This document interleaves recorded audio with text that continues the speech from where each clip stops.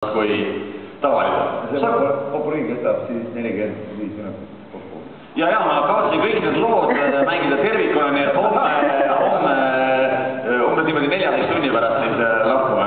ja tegelikult, ei sa võid lihtsalt võtta Aivar muidugi, jah, ma ka selgelt ikka mõned minutid kavatsen siin veeta